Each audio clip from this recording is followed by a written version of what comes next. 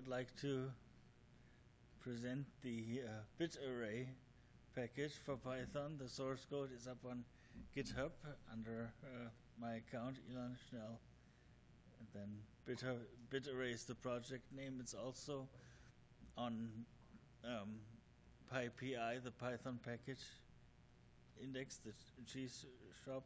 The project uh, started four and a half years ago when I was already a Python programmer, but I wanted to learn more about the internals of how is Python actually working, how does the C code of Python look like, and uh, to do that, um, to understand better what is going on on the C level, I wrote uh, BitArray, which is a um, C extension to Python, and the idea is that a bit array object behaves just like a list object and every element in the list is a bit. It's either true or false and it only takes up one bit of actually physical memory. If you think about a list with uh, true and false um, values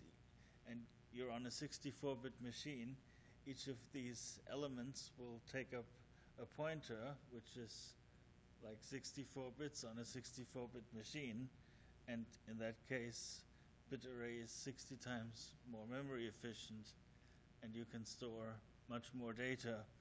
It also has some, here's the, the feature list. Um, you can pickle uh, bit array objects, you can um, up, please? Uh, oh, yes, um, you, you can pickle bit array objects and it's quite easy to install. There's a documentation here. Each um, bit array object also comes with its own bit endianness, um, which can be either big or little, and um, that's endianness on the bit level, meaning how are the bits actually represented in one byte of memory. And then um, it also supports the uh, Python buffer protocol in Python 2.7.